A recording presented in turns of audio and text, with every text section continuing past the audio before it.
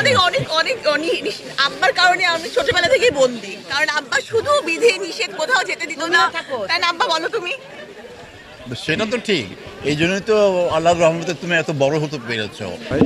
আসলে মেয়ে বলেছে না বন্দিনীতে যে একটু দাঁড়ান একটু আপনার পাশে দাঁড়ান তো। একজন নারী ওই জন্ম থেকে একদম কবর পর্যন্ত তারা বন্দিনী থাকে। কিন্তু আমি কিন্তু নিজে পুরুষ হয়ে বন্দি হয়ে আছি। আমার আফটার রিটায়ারমেন্ট আফটার রিটায়ারমেন্ট আমি বাসায় থাকি ওই ওই যে ধর্ম পুস্তক সমস্ত পড়াশোনা করি যাতে একটা বইও কিনলাম ধর্মের ওপর। সেই পড়াশোনা নিয়েই থাকি, বাইরে খুব একটা বেরোই না। মাঝে মধ্যে বেরোই, একটু বাজারে যাই, কিন্তু আমিও বন্দি। তো মেয়েরাই যদি শুধু বন্দি হয়ে থাকে, তা কিন্তু ঠিক না। পুরুষদের জীবনের সময় আসে যখন তারা বন্দি জীবন যাপন করে। এবং এই ধরনের জীবনযাপন করতে হবে বলেই আমি কিন্তু আমেরিকাতে থাকিনি। কিন্তু আমেরিকাতে হলো বুড়ো মানুষ হলে আপনি ইয়ে করবেন, ঘরে বসে থাকবেন আর ফ্যামিলির সব সদস্যরা বাইরে চলে যাবে, সারাদিন জব করবে, তারপরে সন্ধ্যায় ফিরবে। আর আপনি একা বুড়ো মানুষ বসে বসে আছেন। আপনার জন্য খাবার অবশ্য বেড়ে দেওয়া আছে টেবিলে, কিন্তু ওখানেও একটা বন্দি জীবন। সুতরাং পুরুষরা অনেক সময় সময় আসে যখন তারা বন্দি জীবন অতিবাহিত করে। এসব বলছি কেন আমি?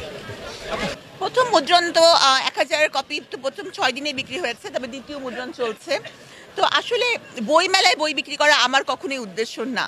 কারণ বন্দিনী একটা বার্তা, একটা মানে দাবি হ্যাঁ একটা আন্দোলন হ্যাঁ এটা হচ্ছে যে চলবে। এটা সারা বছর ধরে চলবে। আমি বন্দিনীকে জেলায় জেলায় বন্দিনীকে আমি ঘরে ঘরে পৌঁছাবো এটা আমার স্বপ্ন। তুমি আমাদের অনেক অনেক অনেক আব্বার কারণে আমি ছোটবেলা থেকেই বন্দি। কারণ আব্বা শুধু বিধি নিষেধ কোথাও যেতে দিত না। তাই না আব্বা বলো তুমি? সেটা তো ঠিক। এই জন্যই তো আল্লাহর রহমতে তুমি এত বড় হতে পেরেছ।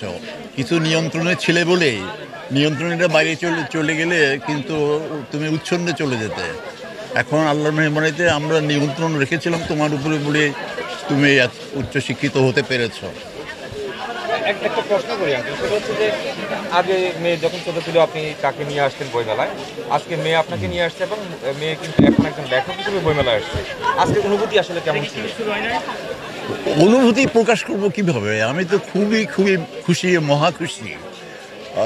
ওকে যে মানে আমি তো এই সিজনে হয়তো বই মেলাতে আসতামই না। যেহেতু এর বইটা প্রকাশ হয়েছে, সেজন্য আমি মেয়েকে বললাম যে একদিন যাই, দেখি তোমার স্টলটা কেমন বই বিক্রি হচ্ছে। সেই জন্য এসছি। আমি মহা খুশি।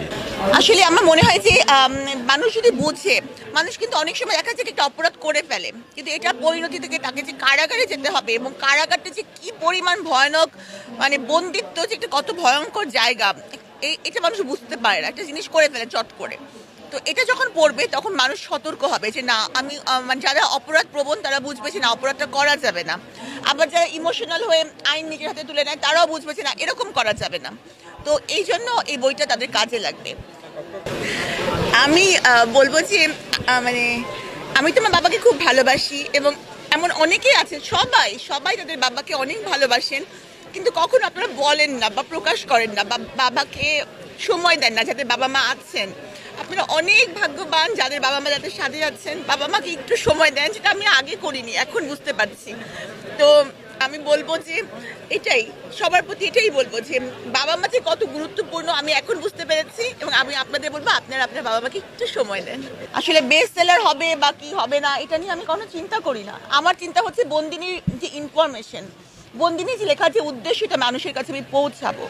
বন্দিনী সবার কাজে লাগবে। যেমন হচ্ছে যে, যা এই যে বললাম, অপরাধীদের কথা বললাম, আবার যারা কর্তৃপক্ষ আছেন, তারা যখন জানবেন যে বন্দিনীরা এই অনেক- সময় কিন্তু আমরা যখন বন্দি ছিলাম, আমাদের অনেক কথা কিন্তু আমরা কর্তৃপক্ষের কাছে পৌঁছাতে পারিনি।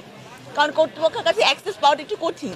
তাহলে তারা যখন দেখবেন যে বন্দিনীরা এই সমস্যা ফেস করেন, তখন তারাও কিন্তু এই বইটা পড়ে অনেক কিছু জানতে পারবেন আমাদের পক্ষ থেকে। আমি মনে করি সবার জন্য এটা পড়াটা জরুরি।